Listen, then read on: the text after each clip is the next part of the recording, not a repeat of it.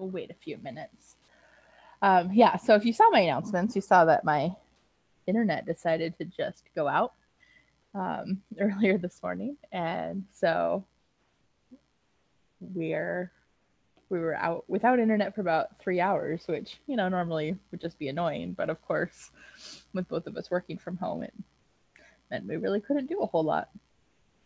Um, and I got through all of lecture this morning, and it went out about 10 minutes into lab. So I um, I logged on to Zoom with my phone and it worked for lab, but I didn't think that doing a full lecture through Zoom on my phone would be the best option. So, so we're back. We're here. More of the important stuff, though. How was your trip? It was good. It was nice and relaxing. It was nice to see some actual stars. I had never actually been to Big Bear before, so it was uh, nice even just to see the area and and be up there. Were you in the main city area where it's like pretty? Um... No, we were maybe 10 minutes outside of that. We were in a neighborhood called Moonridge. Okay. We were we were in an Airbnb. That sounds very that's um my friend's dad calls that glamping, glamorous camping. Oh yeah, it's totally glamping. yeah. yeah, I grew up with like a mix of like real camping and glamping, so I'm totally okay with anything and everything. yeah, it was well we we had one one eventful moment that had like a nice patio on the second floor and so we went out there and when I Sheila went out first and when I followed her out there the door shut behind me and it locked us out. so I had to uh get off the patio and then I like went and walked around the cabin to see if I could find a way in because of course the other door was locked, but we had left a window open. So I took the screen off and crawled through the window. and they had a ring doorbell set up. So I'm sure they were entertained by watching me crawl through the window right by the door.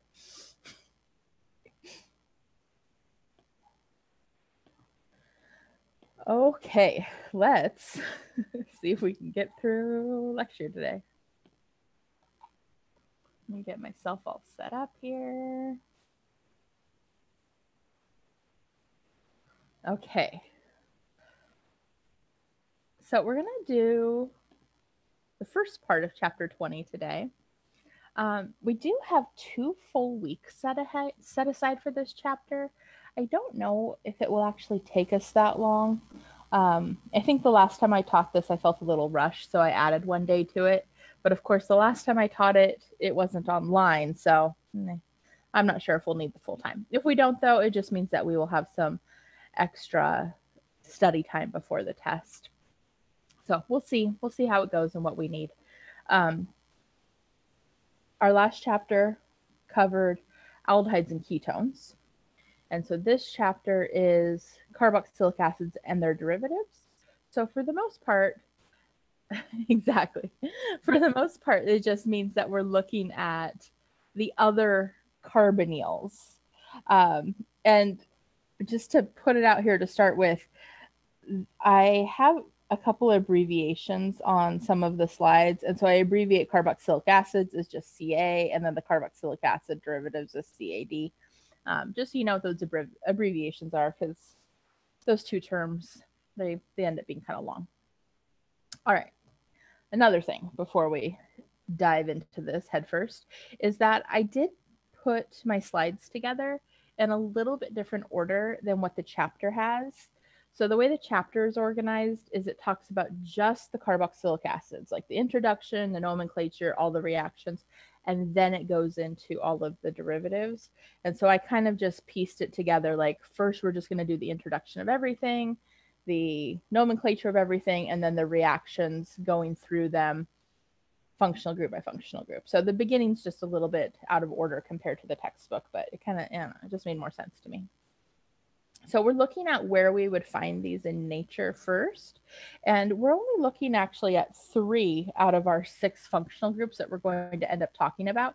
So the first one here is carboxylic acids, and we can see the little fruit examples there where we would find them.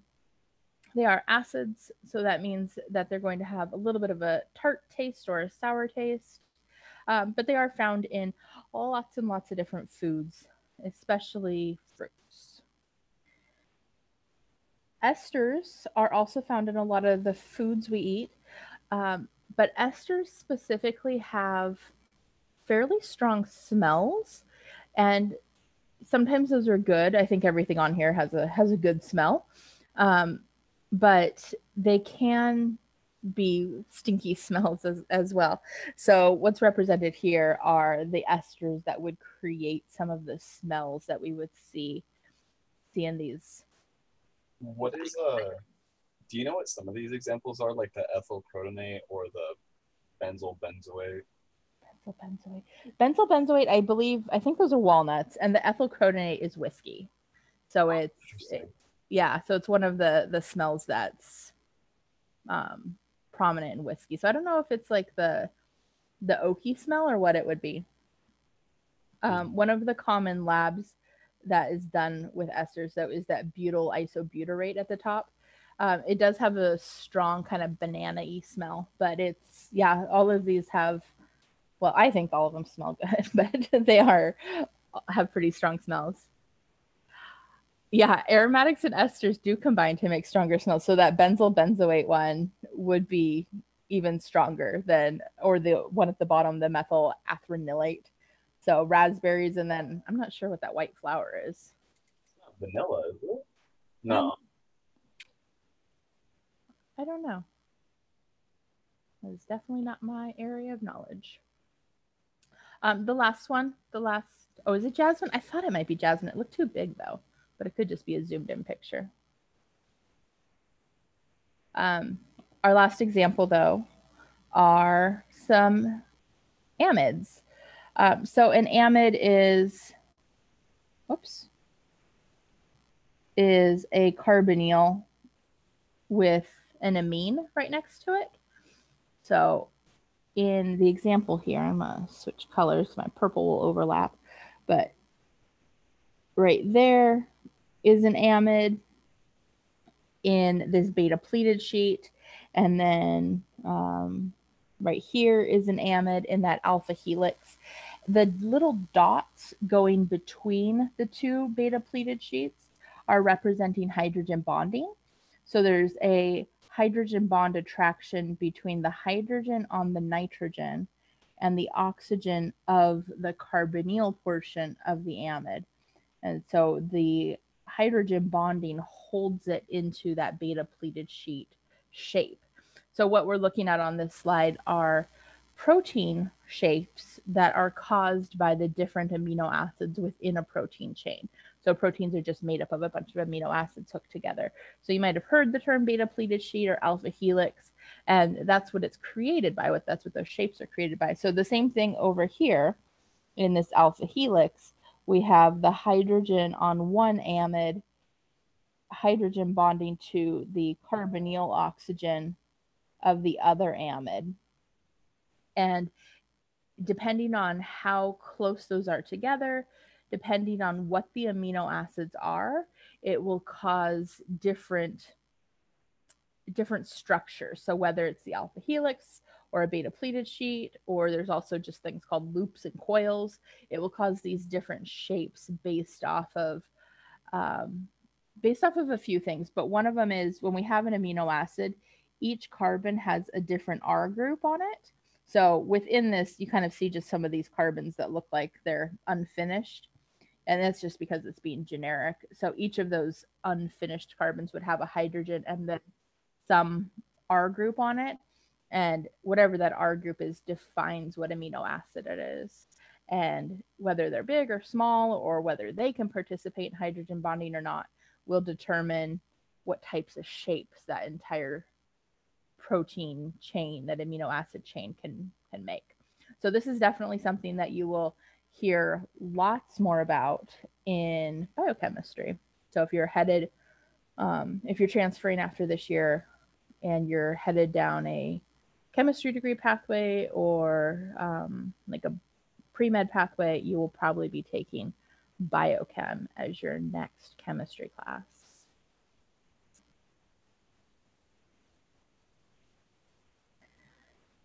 All right, carboxylic acid derivatives. So I don't even have the actual carboxylic acid down here. Let's add that in.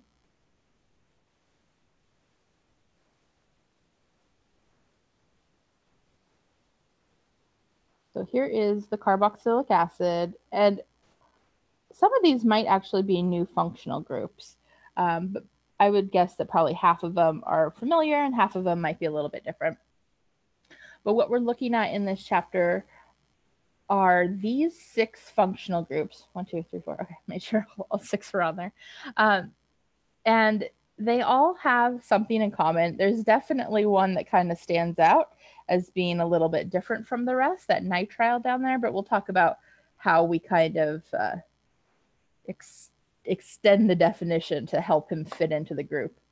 But our the other five all have a carbon oxygen double bond, and then they all have some type of heteroatom attached. So our carboxylic acid has that OH, and then our carboxylic acid derivatives, the acid halide will either have a chlorine or a bromine attached. So we could also refer to it as an acid chloride or an acid bromide. Our acid anhydride is going to have an entirely additional carbonyl attached. So notice these parts that are, are highlighted in red. These are going to be um, what we're going to refer to as the leaving group of the compound as we start to talk about the mechanism. So there is a reason why it's in red. And then for the ester, that group is an OR group, and the amide is an amine. And that amine can be primary, secondary, or tertiary. So, for example, if we had one that was tertiary, it would just have its own R groups attached to it. So it can have no R groups, one, two. Doesn't matter. It still falls into that category. And then the nitrile. So that nitrile doesn't quite look like it fits with the others, but here's how we kind of extend that definition to help it fit. So with all of the other ones, our carbon has three bonds to electronegative atoms. So does the nitrile. It just happens to be a triple bond to a nitrogen. Um, it also fits because all of those carbonyl carbons or that nitrile carbon have the same oxidation state or the same oxidation number. So that's going back to when you learned about redox reactions in Gen Chem. Um, so it, I feel like that nitrile is a little bit of a stretch in terms of fitting in here, but it doesn't really fit in with any other chapter or any other group either. So it's the best fit for it, even if it's not great. We're going to start with the nomenclature. Now, for the nomenclature, we do have six different functional groups to talk about. And then the chart that I showed you in our last chapter, where we looked at what happens if we have more than one functional group in the same compound, we're going to use that again when we start to do some practice problems. So same rules as what we've always done. We're just adding on some functional group information. So we're looking for the longest chain that contains the functional group. We're going to give low numbers. So the functional group gets the lowest number possible. And in most cases, it's going to get a number one, because if we look back at, at these functional groups, those carbonyls would have to be the start of the chain. Um, so numbering these isn't the hard part. Think back to when we first learned about alkanes, and if you were in my class, I like to draw big, long crazy branched alkanes and it can become a little bit of a chore to figure out how to number them and where and what the tiebreaker rules are. But with these you just start at the at the functional group. So it makes it nice and easy. And then for any substituents alphabetical order. So same same stuff we know here's how we're going to add to our list or or you know here's here's the new stuff when we have a carboxylic acid group the ending becomes oic acid. So our one on the far right over here, we have one, two, three, and four. So it becomes butanoic acid. So of course the but is because there's four carbons. The AN is because it's still a bunch of single bonds. So if we did have a double bond in there, we could call it buteneoic acid. We have the en in there instead of an an. Um, but butanoic acid would be all single bonds. And then the oic acid part is because it is a carboxylic acid. Notice that all of those names that are up there, methanoic, ethanoic, so on, none of them have any numbers. It's implied that the butanoic acid is, or that the uh, carboxylic acid is on carbon number one, so the number isn't needed. If you put it in there, it wouldn't be wrong. It it wouldn't you wouldn't lose any points on the test or anything for that. So if you want to put it in there, if it helps you kind of just see things, that's totally okay. It's just not necessary. Um, if we have two two carboxylic acid groups, we just add the prefix di. So it would be di dioic acid. So in this case, it's pentane. So one, two, three, four, five. And again, this would have to start at carbon number one, but if we have two of them, it would also end with that carbon as well. So even though it doesn't say it's on the first and the last carbon, it's implied. Um, and then notice also with this one, it does include the E. So most of the time we are getting rid of the E when we add on a suffix. This time we're not. And in all honesty, I do not care if you include the E or not. This there's all these weird little side rules when it comes to IUPAC, and some of it just has to do with pronunciation and spelling. So if we left that E off and we just called it pentandioic acid, that means you'd have an N next to a D, but they're not the same syllable. And so IUPAC doesn't like that. So they tell you to include the E to make it easier to say. It's one of those rules that I think is is not helpful because it's adding an extra rules where we don't need them. It's trying to solve a problem that doesn't exist. All right, next functional group. And we'll practice these after we talk about all of them. The next one is the acid halide. So the way we name this is the prefix is OYL, so oil, and then either chloride or bromide, depending on which halogen you have. Um, notice I haven't talked about iodine or fluorine at all. We don't we don't use them for this purpose. So it's the same reasons as we've talked about before. Fluorine is too reactive, iodine is not reactive enough, so they just don't make good substituents. So the example that's on here, we have one, two, three, four, five. There's that methyl group on carbon number three. So we have three methyl pentanoyl bromide. So pentanoyl because of the five carbons. And again, we're not stating where that acid bromide is at because it's um, it is on carbon number one and it's implied.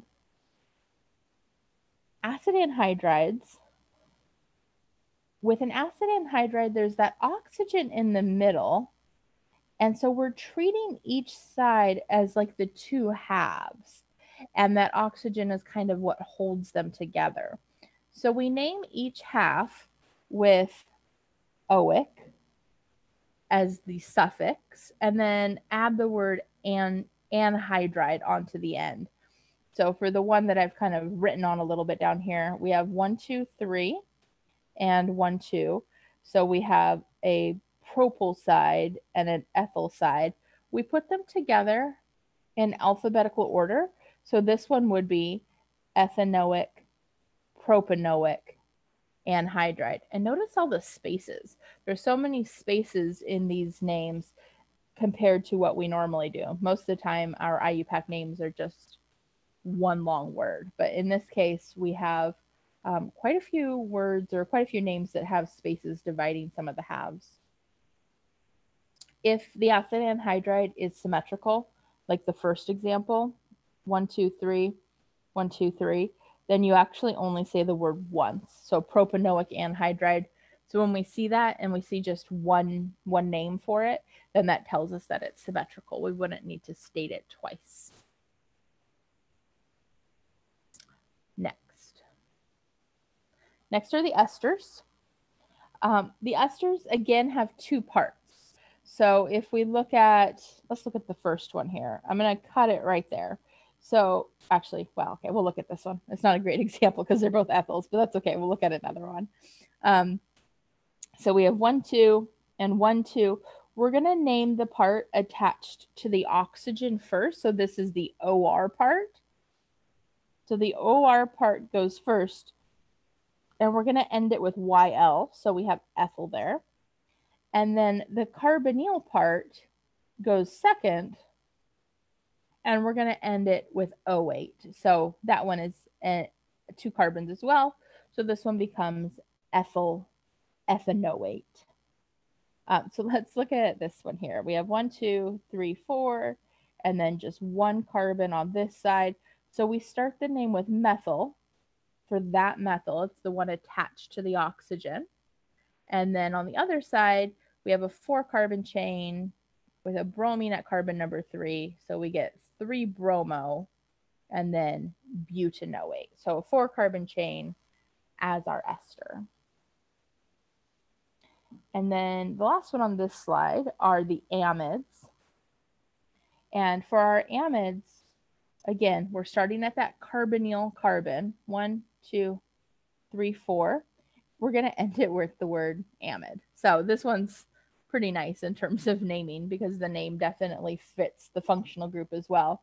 So four carbon chain, we get butanamide for our parent chain if there is something attached to our nitrogen, we need to state that as well. Um, if we had like an ethyl group attached at one of our carbons at carbon number two, we would say 2 ethyl. But the nitrogens don't have numbers, they're not part of that numbered chain. So the way that we say that there's something attached to our nitrogen is we literally just say N ethyl. So that tells that the tells us that there is an ethyl group attached to the nitrogen. If we have two of the same group on our nitrogen, then we just put the N twice. So just like if we had a carbon chain with two methyls, we would say 3 3 dimethyl to say where each of those methyl groups were located. Professor? Yeah. I don't know if it uh, particularly changes anything. Is there any reason that on the left one you labeled it one, two, four, three? No, there's absolutely no reason. I have absolutely no idea why my brain did that. blaming my brain, not my hand. I'm not sure if that's the right thing to blame. so with this one, because there are two methyls attached to the to the nitrogen, we would say N N dimethyl to say where they're both located.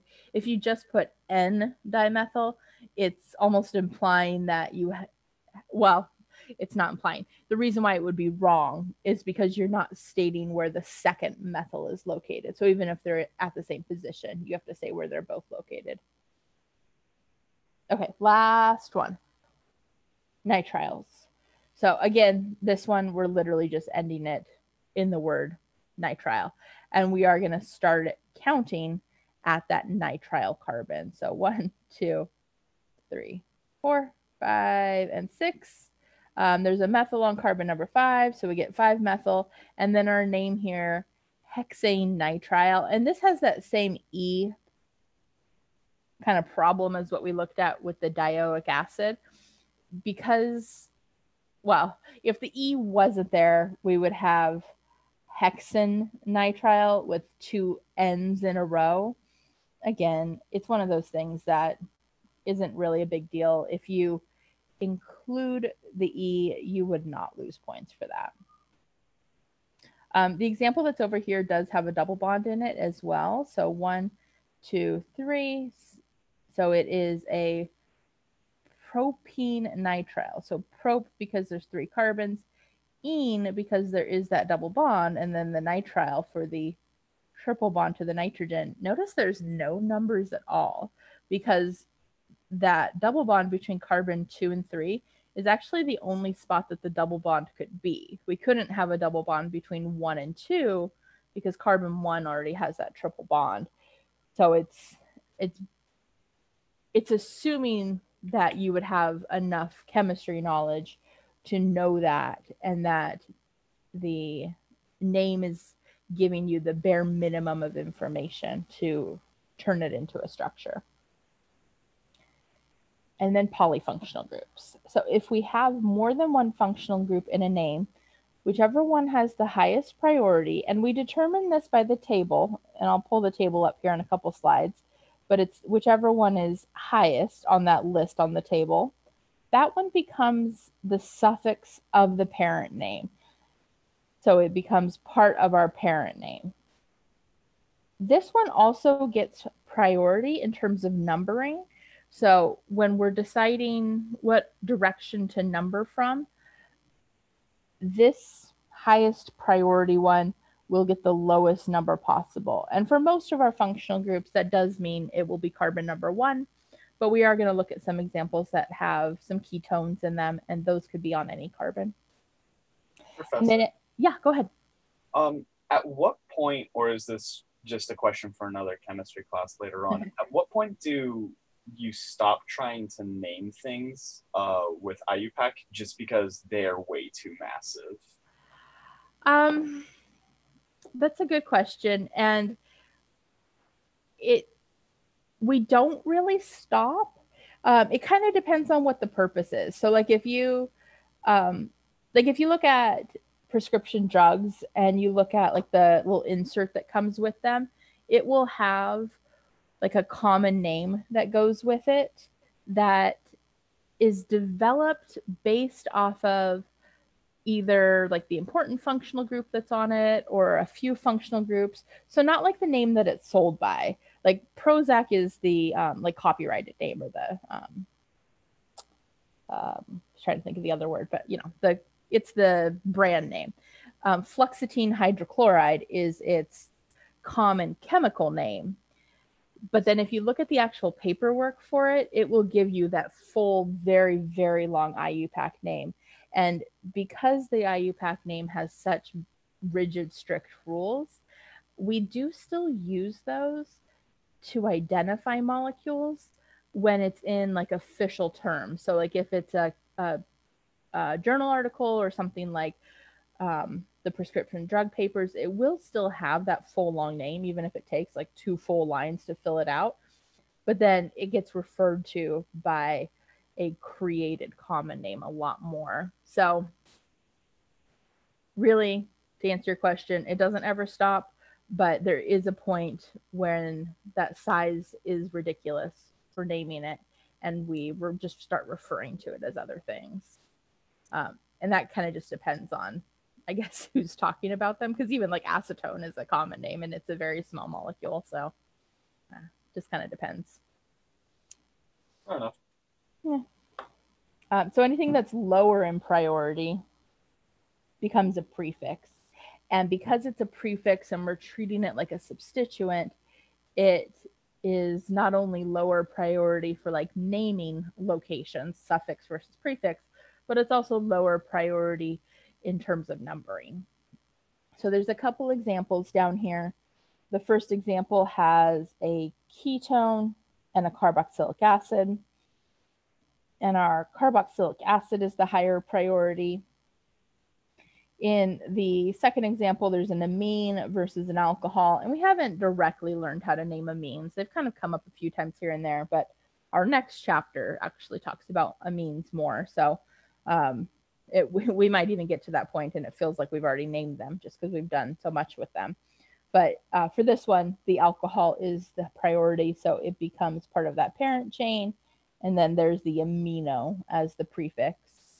And then in the last one, we have an aldehyde, we have an alkoxy group, and then we have the chloride.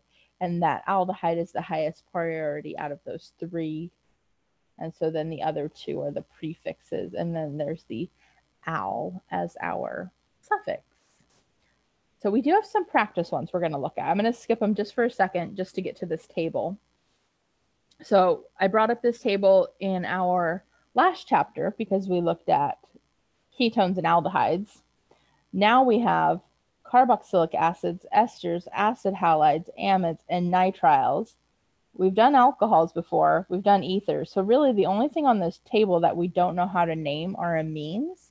Um, it is giving you information here on what the suffix is and what it would be named as a substituent, but we will officially talk about them next chapter. I am going to give you this chart on the test. Um, I feel like memorizing that isn't going to mean that you you're welcome isn't going to mean that you know it anymore. Um i it's kind of the same reason i don't have my intro chem or gen chem classes memorize the periodic table. It's it's a reference sheet that is always available. So this is a reference sheet that you could easily find and you just have to be able to know how to use it. So for example um, with the esters here, it tells you that the ending is oate, but it's not telling you what to do with that part of the ester. So it's not giving you a full set of rules. So make sure you are studying how to name these. Use this as a practice as you're as you're doing your practice naming. Um, but don't skip the studying on this part because if you go to look at this chart without any practice, it might not be as useful as you think it will be. Okay, with all that being said, giving you my little warning, I'm going to erase all this because I'm probably going to draw on it again as we do our practice ones. But we're going to start up here at the top. So, sorry, I need to adjust my tablet. I realized it's, I'm reaching way too far. I'm going to keep hurting my shoulders by reaching weird, weird lengths and angles. Okay, there we go. I think I'm better now. So our first structure, um, carboxylic acid versus an amide. So those are our two options for picking out our high priority. So we're going to go back over here. Carboxylic acid versus an amide obviously carboxylic acid is the highest priority. Um, so if we have that, it will always be the highest priority. So that tells us that we're going to use oic acid as our suffix. And then for the amide, we're going to use carbamoyl. So it's carbonyl and amide or amine kind of put together into one. So kind of a weird one, but but it works. So carbamoyl. Um, because that carboxylic acid was highest in priority, that's where we start numbering it.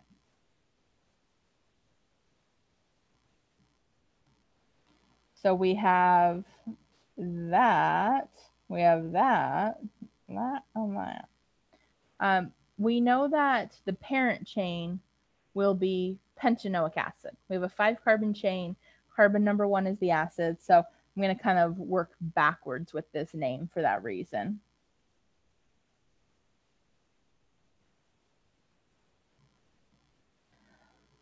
Um, what substituent's going to come first alphabetically? The five carbamoyl. yes, in stereo. So five carbamoyl. And then what comes next? Three three dimethyl or do we list the ethyl that's coming off of the carbamoyl first? We are going to do the ethyl first. So we're going to do N ethyl, and then we will do 3 3 dimethyl. So is this all, is this entire thing two words? It is two words. So all of that would be one word. Yeah, I just have it stacked because of length. But yes, that would all be one word and then space acid. And the ethyl comes before the dimethyl because remember when we have di ditriketra, those don't count with alphabetizing. So we're using the M of the methyl for alphabetizing.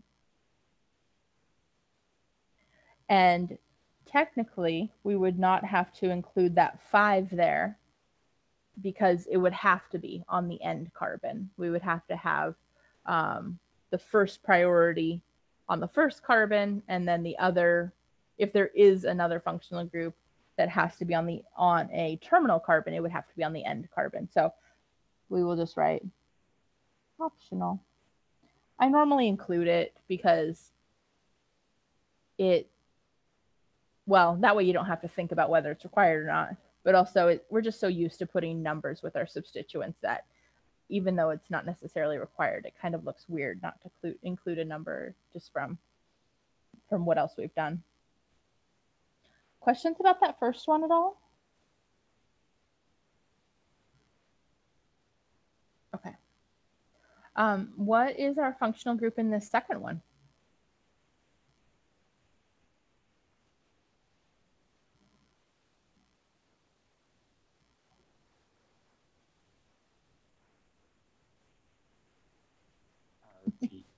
Ester.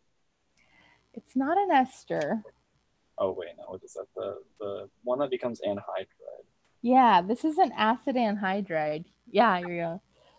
So acid anhydride, and this is actually so. Here's another reason not to just depend on that chart on the day of the test, because this one isn't even on the chart.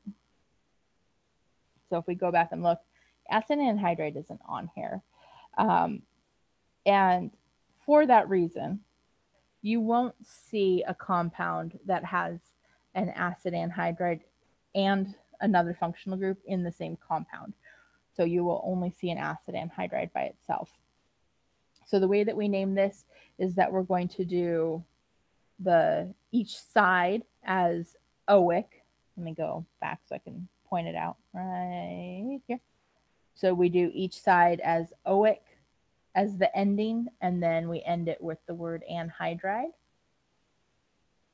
So this one actually will be three words. Uh, let's see. I'm gonna I'm gonna do some color coding here. We're gonna do one, two, three, four, five, with a couple substituents, and one, two, three, four with one substituent.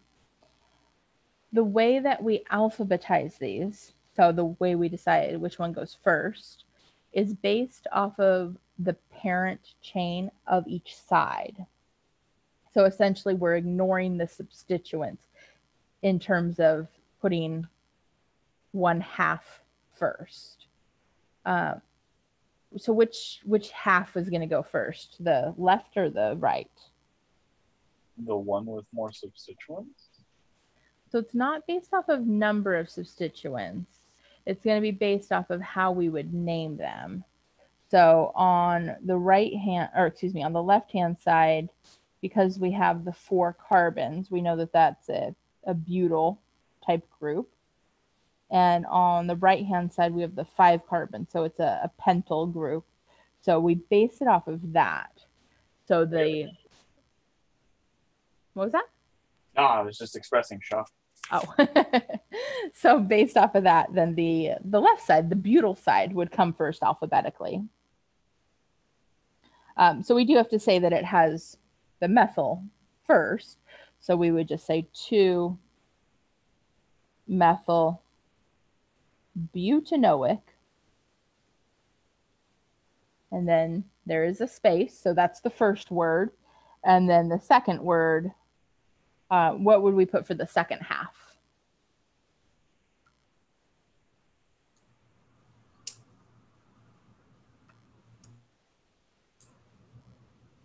Three three dimethyl. Uh, what's the five uh, Pent? oic anhydride? Some Yeah, yeah. So three three dimethyl pentanoic. And then we end it with anhydride. So it is three separate words there, each half, and then anhydride to essentially say how those two halves are connected together. So the bu- the butanoic is separate from the dimethyl pentanoic. It's two separate words, yeah. Yeah. And then I'm just going to underline the butanoic and the pentanoic, just that's how we alphabetized it. Professor? Yeah. What would happen in the event? I get almost, I'm sure that we won't run into something like this. But what would happen if you had um, a compound with more than one acid anhydride in it? Oh, like for naming it? Yeah.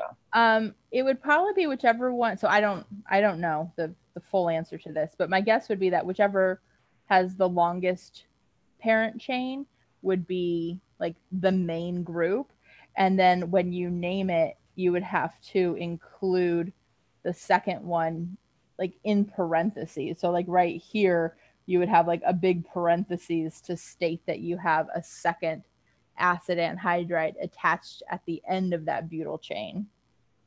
That would be my guess. I don't really know though. Wild. yes. What's nice is that with some of the fancier drawing programs, you can draw a structure and it will name it for you using those IUPAC rules. So I would guess that that's how like those bigger ones do get named. Like people aren't well, they might be checking them that way, but people aren't just naming them based off of the rules they're using. They're letting computers do the job for them. Honestly, fair. Yeah. All right, next. So we have an acid bromide and we have a nitrile group. So we're going to go check priorities over here. So acid halide, nitrile. So our acid halide is higher up on that list. So we're going to end it in the oil and then I believe it was a bromide. So oil bromide. And then for the nitrile, the as when we name it as a substituent, we're naming it as a cyano group. And we number this one a little bit different than the others. When we are numbering it, we the let's see, trying to figure out how to say this without doing our example. But the the carbon and the nitrogen are counting as a substituent. So when we number our chain, we aren't numbering the carbon of that cyano group because it's included as part of that substituent. So let me show you in this example. So I'm going to start at the, the acid bromides carbonyl carbon. That was higher priority. So one, two, three, four, five. And then we don't go up to the cyano for carbon number six. Instead, we go carbon number six down at that methyl. So the the cyano, when we say that there's a cyano attached, we're including the carbon in that in that prefix name, in that substituent name. So to name this, that's what we start with. That's the only substituent. So we're going to call this 5 cyano. And then our acid halide, we end it with the OYL, which is, I think, one of the harder ones to say. Going back here. Um, so the ones that we had as examples were ethanoyl, pentanoyl, and then we end it with whatever the halogen is.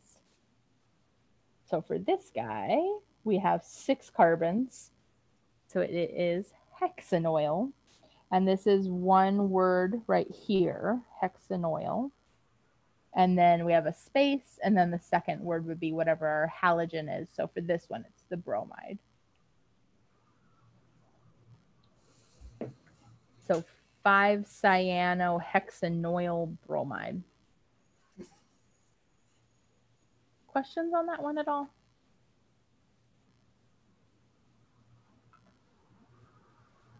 Okay.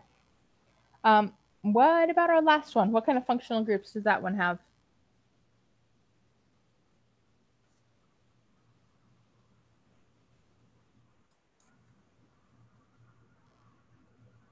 Ester ketone phenol. Ester ketone, yes, but no no phenol. Oh, okay. So ester and a ketone. So we go back and look at our list. There's our esters. Ketones are way down here. So esters definitely take priority. So we're going to name the carbonyl half of that ester as oate. And then ketones, we use the prefix oxo.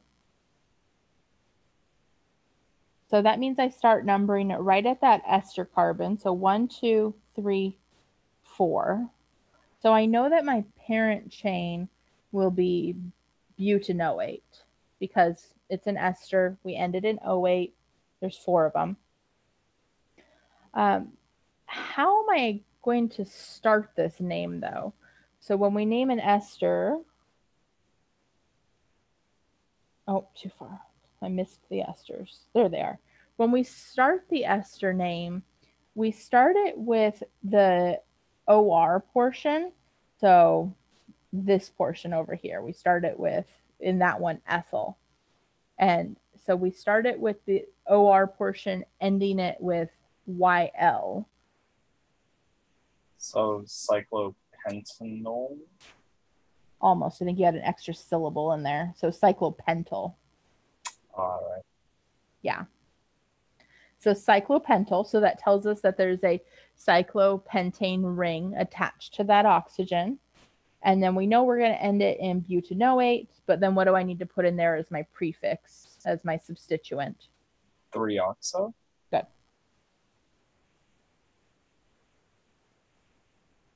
And these are two separate words this time. So we have cyclopentyl, 3-oxobutanoate. So, of course, the first time you're reading all these, they, for one, sound like a foreign language. They kind of are. But also, they kind of all sound similar. Of course, there's a lot of things that repeat and patterns that repeat. But what's nice about these different functional groups is that they do have a lot of distinctions. So, our acid halides, of course, are always going to end in whatever halide there is, whatever halide is being used. And our esters are always going to start with some type of alkyl with a space and then the rest of it. Carboxylic acids, of course, are going to end with acid. Acid anhydrides end with anhydride. So there's a nice set of, um, a nice distinction between each one even though there are a lot of similarities. Because, of course, you have to be able to go both ways. If I give you a structure, you should be able to name it. If I give you a name, you should be able to draw it. So, picking out those little pieces within the name helps you determine what functional groups it contains. Okay, question. Oh, yeah, go ahead. Oh, yeah, just uh, is carbon number five chiral? Hmm. It is. We totally didn't include that. Let's add add in the front. So is it going to be R or S? R. Wait, no, S. S. I agree that it's S. Yeah, because this this carbon would be the highest priority, and then two, and then three. So one, two, three. Um, and we can just put S in the front. We don't need a number because it is the only chiral center, the only stereo center in that structure isn't it? Yeah. Yeah, thank you. I forgot about that. Any other naming questions before we, we move on? Okay. So, Is- wh- oh, go ahead. Never mind. I just I answered my own question. I'm, I'm Okay. Uh, so we're going to talk just a little bit about kind of the generic properties and structures of some of the functional groups as well as their reactivity levels they because we're, we're talking about six different functional groups they aren't they aren't all the same in terms of how reactive they are. So we're starting with just looking at the carboxylic acid but some of these properties apply to all of them like the first one for example. So the carbon in the center is sp2 hybridized and it's trigonal planar so it's flat. So that means that when it does react it, the nucleophile that's reacting with it can approach from either side. Um, so, because of that, just like we saw in our last chapter, if it does create a stereocenter, then it will be racemic. There is some very strong hydrogen bonding in carboxylic acids, and we also saw this in our example with amides. So, carboxylic acids have the hydrogen on that OH group that will be attracted to another carbonyl, another carbonyl oxygen. And so the little dashed line there represents that hydrogen bond attraction. Um, this would be even stronger than an amide's carboxylic acid bond, hydrogen bond. Wait, let me say that again. I don't think I said that right. The carboxylic acid hydrogen bond is stronger than an amide's hydrogen bond because the oxygen is more electronegative. Um, so there's different things that contribute to hydrogen bond strength, and one of them is the electronegativity of the heteroatom involved. Because it has such high boiling points, it or because it has such strong hydrogen bonds, it's going to have high boiling points. Uh, and this is the same thing with water. We know this going going way back. So those hydrogen bonds increase the intermolecular forces, so they just make it harder to separate them. And then they are weak acids. Um, there's when we first learn about acids and bases in general chemistry, we we have that list of six strong acids and six strong bases. You know, sulfuric acid, phos- phosphoric acid, hydrochloric acid, hydrobromic acid. Those are strong acids. And so in this chapter, and I think even on the next slide, I refer to a carboxylic acid as a strong acid. But what we mean for our class when we talk about things like that is we mean in comparison to the other things we're talking about. So it's stronger, it's a stronger acid than our other options, or even just saying it's a strong acid for an organic acid. So just kind of a little bit of a distinction there. Um, so in in the wide range of all acids, it is weak. It has a pKa in the range of four to five. When it does go through an acid base reaction, it's losing that OH hydrogen. So that's its acidic hydrogen. And when it has been deprotonated, so now it's in its conjugate base form over here, it's called a carboxylate. So you might see this term um, as we talk about reactions or in the book. Um, our, some books even talk about how to name carboxylates. Um, ours does not go over that naming though. And then because it is negatively charged, it's often paired with a cation. So generally sodium or potassium. Um, and then we can tack on the word salt because remember, salt's just another word for an ionic compound.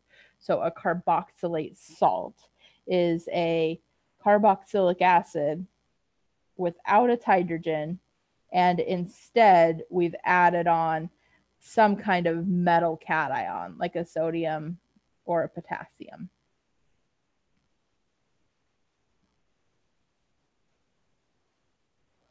So it is weaker than our six strong acids, as I said, but it is a stronger acid than most of our other organic options. So carboxylic acids pKa, a alcohol's pKa. So the difference there is 12.3ish or 11.3ish. Um, that though remember is an exponential scale so that really means that the carboxylic acid is 10 to the 11th times stronger of an acid compared to the alcohol so it's a huge difference in terms of, of acid strength and the reason why it's a stronger acid is ARIO so we we keep referring back to ARIO and acid base and acid strengths. There's such a uh, an important part of learning and understanding our mechanisms. So if you remember all the way back to ARIO, the A stands for atom. So this is the atom that the acidic hydrogen is bonded to. So if we're comparing the two up here, it's the same. They're both oxygens. So that doesn't give us any comparison. The R is for resonance. And so this is the big part for our carboxylic acids because when we go from our acid to our conjugate base, that negative charge on the oxygen is stabilized through resonance. So there's two resonance contributors, and the resonance contributors are equal in terms of their stability, which makes it an even better resonance. Uh, and remember what ARIO is based on. It's based not on how strong is the acid, but it's based on how stable is the conjugate base because a stronger acid will have a more stable conjugate base and a weaker acid will have a more reactive or a less stable conjugate base. And then the other two letters on ARIO, we're going to look at the next one on the bottom of this slide. I is for induction. So I'll get to that one in just a moment.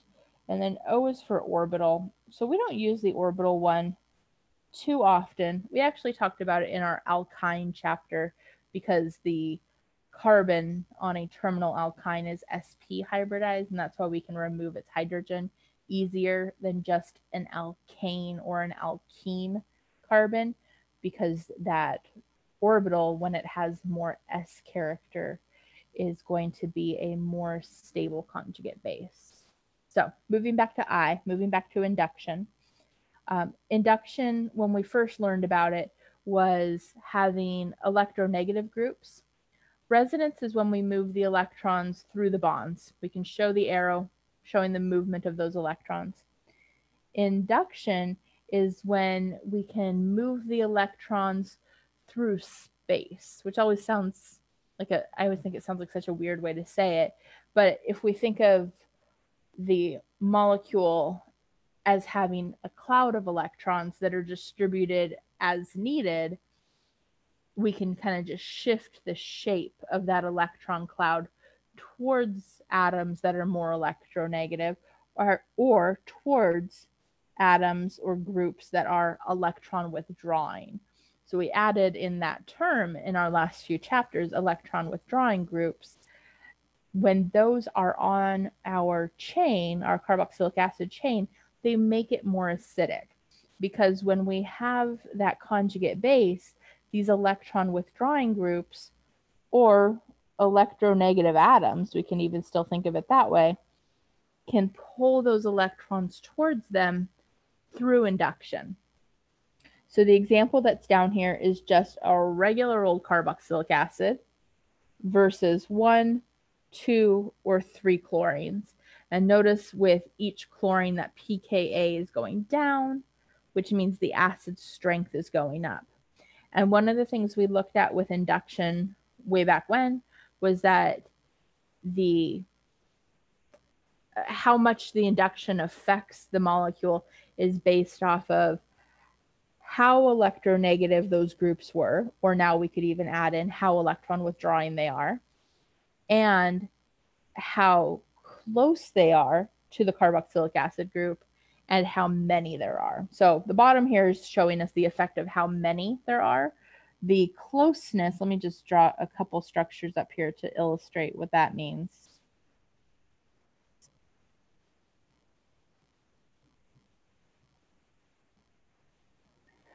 The one on the right here would be more acidic than the other one I drew. More acidic less acidic. They both have a chlorine on the chain, but in the one that I circled, the chlorine is closer to that carboxylic acid group. So it's going to have more of a stabilizing effect. It's going to be able to participate more. And so that's going to allow that carboxylic acid to be more acidic. It's going to allow it to lose that hydrogen more. So distance, quantity, strength of electronegativity, all come into play.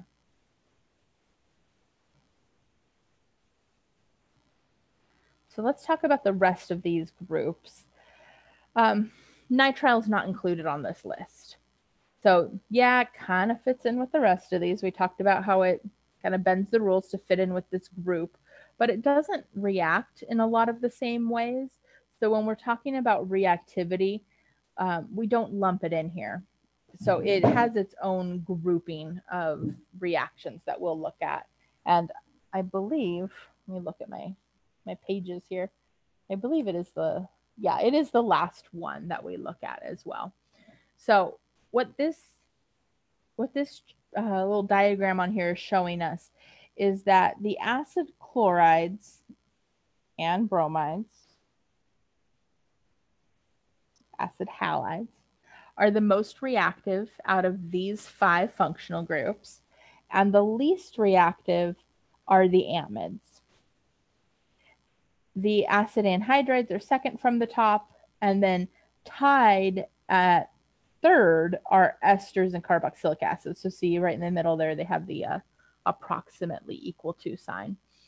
Um, what this is all based on is how how acidic or really how stable it's going to be with that leaving group. So the portion that's in red, and I I added that carboxylic acid to myself, so I'm gonna make it red myself too. The part that's in red here, there we go. Now it's all in red. Um, those are actually all leaving groups. And so how reactive these are is determined by how good those red groups are at being leaving groups. The weaker they are as bases, that means that they're going to be easier to eliminate. They're going to be better leaving groups. Weak bases make good leaving groups.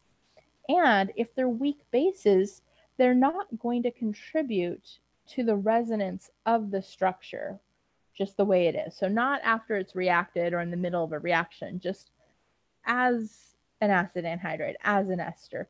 They're not contributing to the resonance if they are weak bases. The kind of the overall picture of what's going into that then is induction, resonance, sterics, and leaving group. So the leaving group is definitely we're gonna, what we're going to focus on. We're going to talk about some induction that goes along with that on the next slide. Um, we'll get into the resonance a little bit with some specific leaving groups, or excuse me, not resonance, sterics. Jump to the wrong one. We're going to talk about sterics a little bit with some specific leaving groups. And then uh, resonance goes right along with how basic it is, how easy it is to eliminate. So we're going to look at resonance and how that affects leaving groups on the next slide. The last bullet point that's down here is it's kind of an interesting one, um, but it's also slightly misleading. So what it says is that carboxylic acid derivatives can be converted to a less reactive carboxylic acid, but not a more reactive carboxylic acid. So that means that we can convert an acid chloride into an acid anhydride, an ester, a carboxylic acid, or an amide. But based off of that statement, we can't convert an amide to any of those other ones. Now, the reason why this is misleading is because there's a little parentheses down here at the bottom that says we can't convert these going the other direction, going from low reactivity to high reactivity using a nucleophilic acyl substitution reaction. So that means that there are other ways to do this. We can't we just can't do it using the main reaction method that we're talking about in this chapter. All right. Wait, I'm sorry. Um, for the reactivity based on induction resonance sterics and leaving group, is that also in like ascending order from most least important to most important? No, that's just a list. Gotcha. Was there another question? I thought I heard two people trying to talk at once.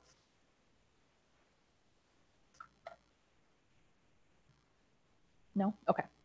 Let me know if you think of it. So we are going to look at the two extremes. We're going to look at the most reactive and the least reactive and use those reasonings, the inductions and the resonance, the leaving group to talk about why why they fall into those two labels. So we'll start with the most reactive. We're starting with the acyl halide. So we're using an um, an an acid chloride or an, so I realized here that I put two different terms. Um, this is what happens when I teach from multiple books over the years. Um, our book calls it an acid halide or an acid chloride. Um, they are also called acyl halides and acyl chloride or yeah chlorides and bromides because this group right here is an acyl group. So remember we did acyl substitutions in our benzene chapter. Just so you know why it has two different names. Okay. So let's talk about why this is the most reactive carboxylic acid derivative. We already know that when we have a carbonyl, So we've talked about ketones and aldehydes now. We know that that carbonyl carbon is partially positive. It's double bonded to an oxygen, an electronegative atom. It's going to pull those electrons away from the carbon, making it partially positive. When we have a chlorine attached to that same carbon, now the electrons that are in the carbon oxygen double bond are getting pulled towards the oxygen. The electrons in the carbon chlorine bond are getting pulled towards the chlorine. So that means that that, that carbon right in the middle is going to have a very strong partial positive charge. Because its charge is so strong, it's going to be a very good electrophile. So the chlorine is making the carbon a stronger electrophile because of induction. Because it's an electronegative atom, it's pulling that electron cloud towards it, making that carbon more partially positive. So that's going to just make it more attractive to the nucleophiles we're going to react it with. And then in the brackets here, we have the resonance of that acid chloride. And so this is just showing the resonance, like without reacting it with anything, just regular resonance. So we can move the pi bond up onto that oxygen. That's one of our resonance patterns. A pi bond between two different electronegative atoms can be the start of resonance. And then right here, we're looking at chlorine as being a, an electron donating group as it's pushing those electrons towards that positive charge, towards that carbocation, but it's not good at that. It's not a good electron donator because chlorine doesn't want to have a pi bond. Chlorine doesn't want to have a positive charge. So, because this is not a significant resonance contributor, what that tells us is that chlorine is not helping to stabilize that carbocation. It's not really good at donating the electrons to help stabilize that. And so, because it's bad at resonance, that's also going to make it more reactive. So, it has high induction, pulling those electrons away from the carbon, and it's bad at donating those electrons, it's bad at resonance. So, that's going to make that carbon more reactive. And then the leaving group side is we'll look at the mechanism here in the next couple of slides, but that chlorine is going to be our leaving group we know already from our substitution elimination chapter that halogens are great leaving groups. It's stable on its own. It is the conjugate base of a strong acid of HCl. And so, because of that, it is a stable ion. So, it's already a good leaving group. So, it has strong induction, it's bad at resonance, and it's a good leaving group. All of those things turn it into the most reactive carboxylic acid derivative.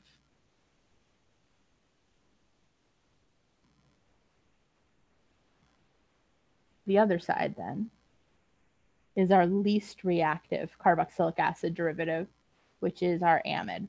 And so really everything we just said about our acid chloride, we're now going to say the opposite. So when we look at our partial charges of our amide,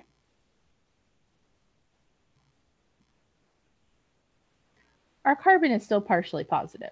It still has that double bond to the oxygen, and nitrogen is more electronegative than carbon. So it is pulling the electrons towards it. But when we look at what we're comparing it to, halogen, oxygen, oxygen, oxygen, nitrogen, nitrogen is less electronegative than oxygens and halogens. So it is still pulling electrons towards it, but less than all of the rest of the other options. So so I'm even gonna erase that arrow there and we're just gonna turn it into a little baby arrow. It is, it does have induction. It is pulling the electrons towards it, but much less than chlorine, oxygen. I'm even to add bromine here because it wasn't on that original list. But it's just worse at induction than the rest of them. Worse than the rest. uh, resonance, though, it's good at being it's good at participating in resonance. So we start our resonance the same. Those pi electrons become a lone pair on the oxygen. We have our carbocation in the middle here. Nitrogen is being the electron donating group here, donating its electrons towards that carbon. And it is a good electron donator. We know this from our benzene chapter when we had a nitrogen with a lone pair on it in or a nitrogen with a lone pair on it attached to our ring, we know that it was a good electron donating group. And so because it can donate those electrons, it helps to stabilize that carbocation and a more stable carbocation is going to be less reactive. So it's bad at induction or worse at induction than its its counterparts, but it is good at resonance. And then if we look at it as a leaving group, NH2 as a leaving group is a really bad leaving group. One of the things we learned in our um, substitution elimination chapter is that if we have nitrogen or oxygen, we have to add hydrogens to them to make them into better leaving groups. Um, we can also, if we think of NH2 as the conjugate base, to compare it for stability reasons, it would be the conjugate base of NH3. NH3 is is definitely not a strong acid. In fact, it's it's a base. And so this is a very reactive, unstable anion which is not going to make for a good leaving group. So our chlorine, good leaving group, good at induction, bad at resonance. So it's making that carbon more reactive. Our amide is bad at induction, but good at resonance. And it's a bad leaving group. So it's making that carbon more stable and then therefore less reactive. Questions about that, about that run through there?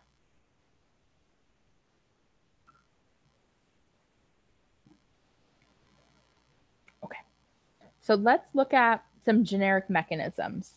And I think that's probably, let's see, what time are we at? 311.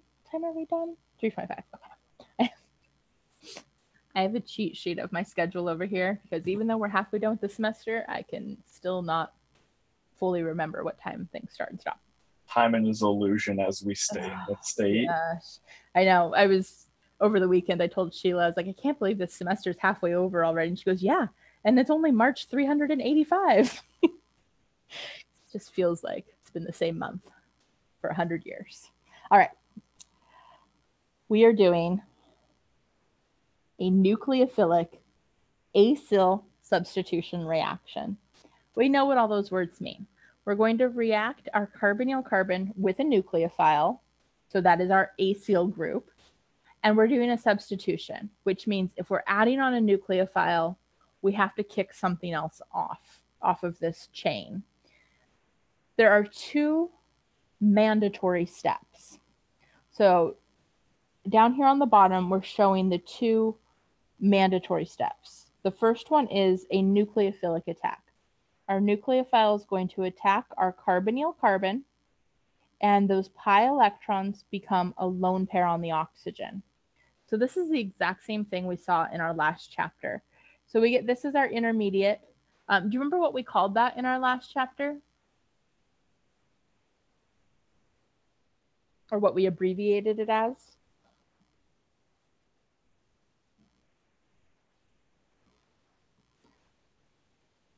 It is the tetrahedral intermediate. Um, and I had mentioned in the last chapter that our book doesn't use that phrase in the in chapter 19 very often.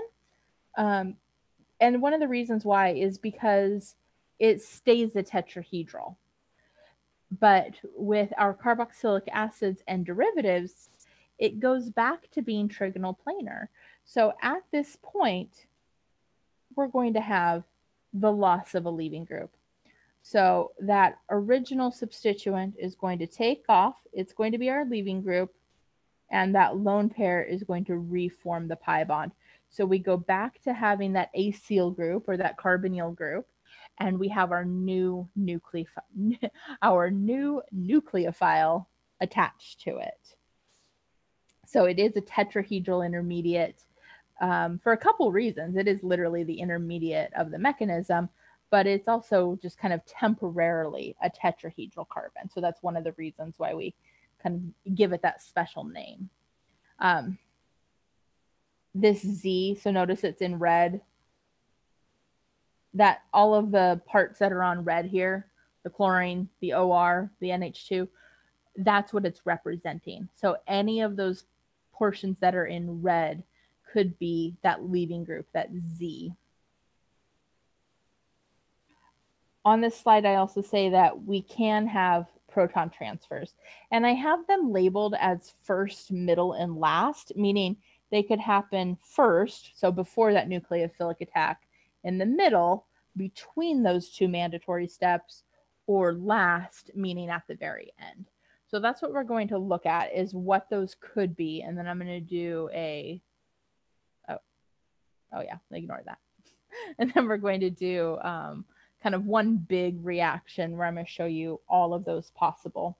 And if you have the slides up on your screen or printed out, I did actually edit this a little bit um, after my lecture this morning. I realized that there was a better way to kind of list them out.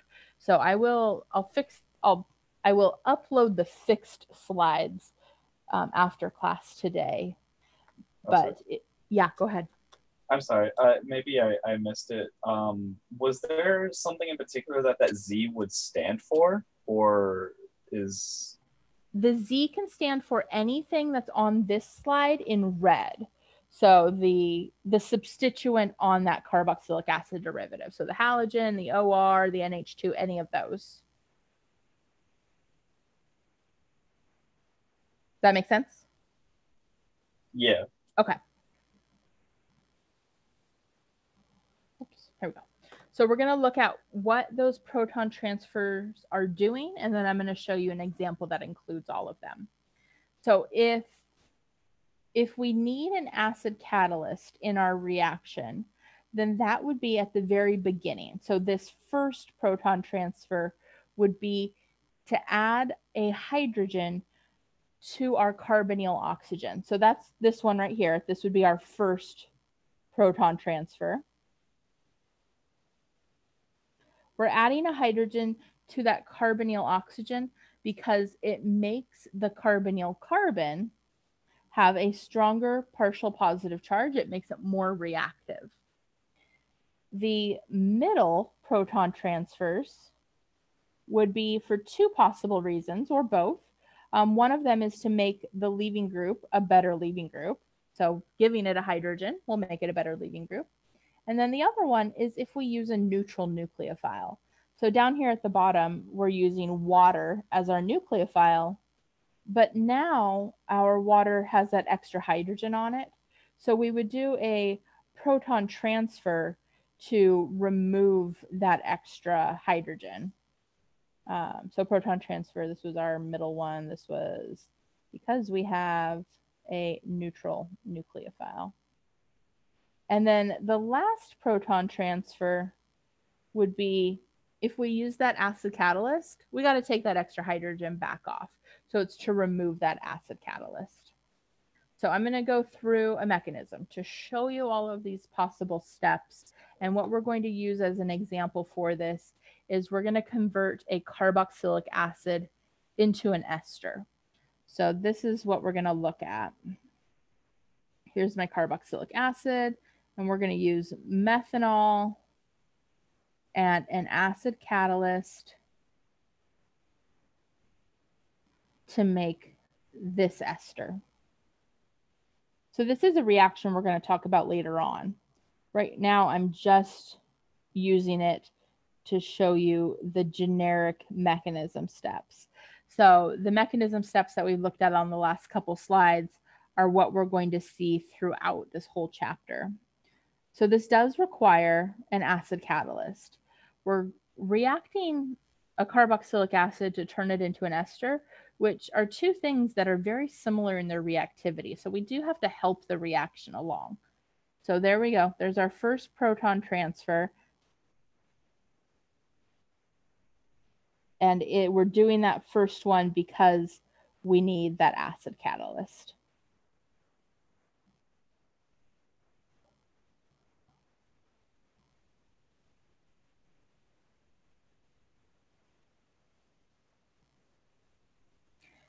Our next step then is a nucleophilic attack. So there's my nucleophile. I'm using alcohol as my nucleophile. So I'm to do nucleophilic attack. Pi bond becomes a lone pair.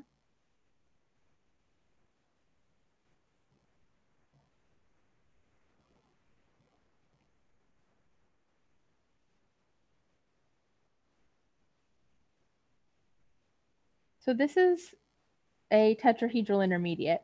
Now this reaction is going to have a handful of tetrahedral intermediates. So if you're looking in another book or you're looking online, sometimes these get named like tetrahedral intermediate 1, TI2, TI3. Our book doesn't actually get that specific, but just so you know what that's referring to if you see it.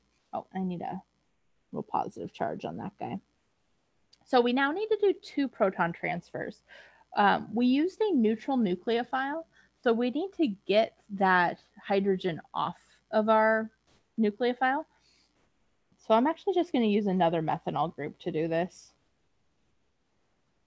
You could just put B for base to do this as well. So proton transfer. And the reason why we have to do this proton transfer is because we started with a neutral nucleophile.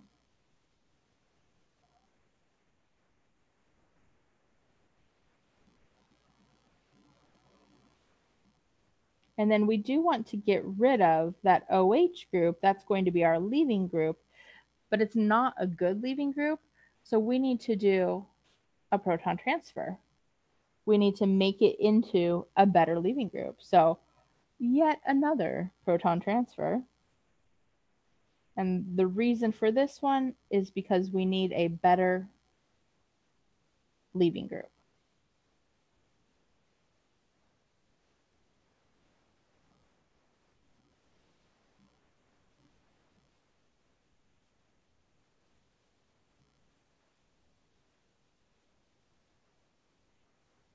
And so, so far, that what I just drew would have been my third tetrahedral intermediate. So these are also tetrahedral intermediates. Um, we have a good leaving group now. So our next step is going to be the loss of that leaving group. So there's the loss of our leaving group and our lone pair is going to go back to being a pi bond. And then I'm going to put little boxes right here and right here. Those are the two mandatory steps for all of our reactions. And then the proton transfers are just going to depend on if they're needed to help the reaction. And I'm using this one as an example because it requires the maximum amount of proton transfers. Um, we did start with that acid catalyst. So our last step then is we got to get that acid catalyst back off. Um, I'm going to use water for this. We could have used methanol again you could just put a B for base, but we got to get that hydrogen off of there. And we know that there's water in this solution because our leaving group on the last one was water. So we know that there's water available. So proton transfer.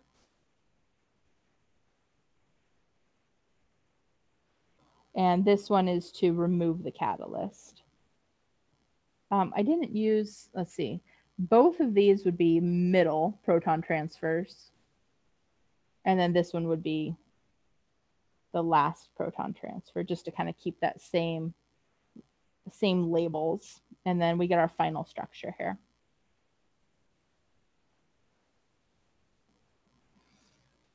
So we went from our carboxylic acid to our ester. There's our overall reaction. Uh, so, as I said, this is the maximum number of steps because of the lack of reactivity for both of these. We have to make one of them a better starting material. We have to make one of them a, um, a better leaving group. It just kind of requires all of the help it can get. questions about that mechanism at all? Um, this is kind of a, a general question for these acid catalyzed reactions. Is the the acid catalyst always regenerated at the end?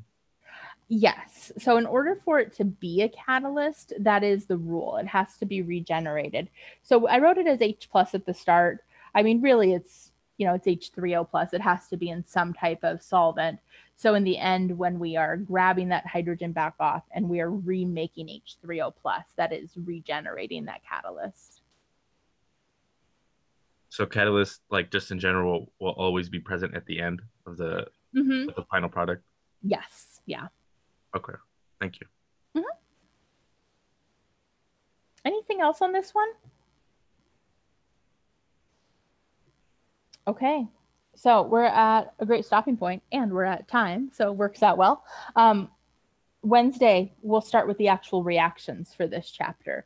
So we're going to start with carboxylic acids and then move our way through each of the functional groups. Um, but that is it for lecture. So I will see you in a few minutes in lab.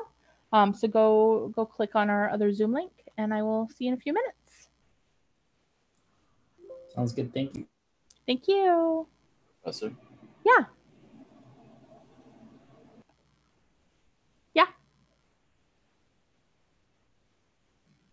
Nate, are you trying to talk to me because you're muted? Oh, sorry. um, would you mind going back to the slide on? Uh, let me see.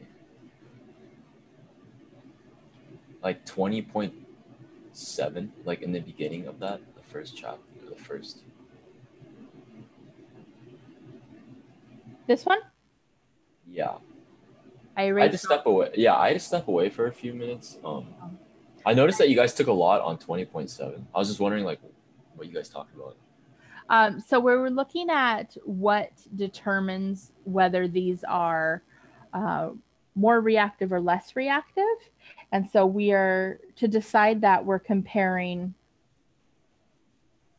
we're comparing the reactivity of these groups or we're comparing the stability of those groups to determine the reactivity of the overall molecule. And so when we're looking at those groups, we're looking at how good they are at being leaving groups and then how much they contribute to resonance for that structure. So um, on this slide, I used the acyl chloride and the amide as examples because the acyl chloride is the most reactive and the amide is the least reactive.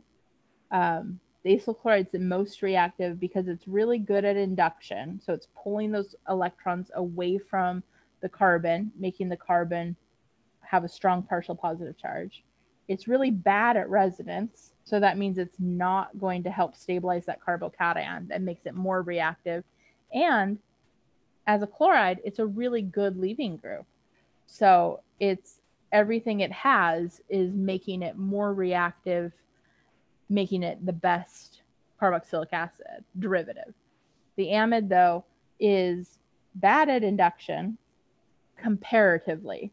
So if we look at all of the options there, there's halogens, oxygens, and a nitrogen. The nitrogen's the least electronegative out of all of those options. So it's going to be the worst at induction, but it's a decent electron donator. So it's going to be good at resonance, and it's going to be a pretty bad leaving group. So because it's bad at induction and good at resonance, that helps stabilize that carbocation, and it's not a good it's not a good leaving group. So overall, it will be the least reactive amide. Does that does that help? Yeah. Quick summary. So um that this is in terms of reactivity in nucleophilic aromatic substitution or uh, I mean uh, nucleophilic substitution or electrophilic substitution. Nucleophilic acyl substitution. Okay. So Yeah. you have NH2 as less reactive than a salt. This our book actually doesn't talk about carboxylates as is that what you mean? Like the the carboxylic acid without the hydrogen when you say Yeah, salt? so say for example like a like an OCH3 instead of an OH, you know, or like an ONA rather. Oh, yeah. So like if we had Like, like a salt, basically. yeah, so like Yeah. an Na there instead of an H. hmm Um, our book doesn't actually go through carboxylate reactions, so they aren't included on this list. If they were, the carboxylates would actually be at the very top up here, though. They would be the most reactive. So our book does not cover that reaction type, though, so I didn't include them on our list. Oh, because I thought that salts were unreactive to nucleophilic substitution with a negative charge. No, they're actually still pretty reactive. Oh, they are? Yeah. Oh, okay, I didn't know that. Yeah. Okay. Coolios. Thank you. You're welcome.